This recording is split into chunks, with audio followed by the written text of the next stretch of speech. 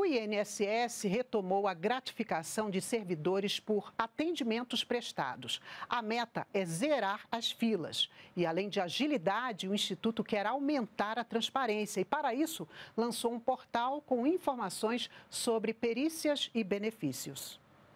O objetivo é dar transparência ao trabalho gerencial do INSS e apresentar as informações sobre benefícios concedidos e perícias médicas. Segundo os dados no portal, em junho, por exemplo, foram solicitadas quase 329 mil perícias médicas e mais de 463 mil benefícios foram concedidos. 38 milhões e 100 mil brasileiros recebem algum benefício da Previdência.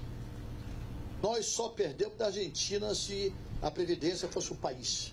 Era Brasil, segundo a Argentina, a Previdência é o terceiro país.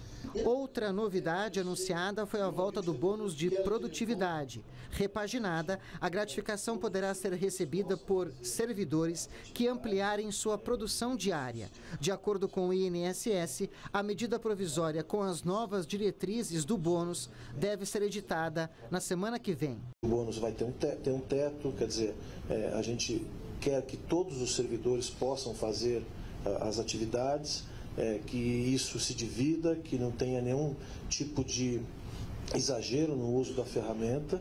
Para aqueles que se interessarem, o endereço do portal da Transparência Previdenciária está na página do INSS na internet.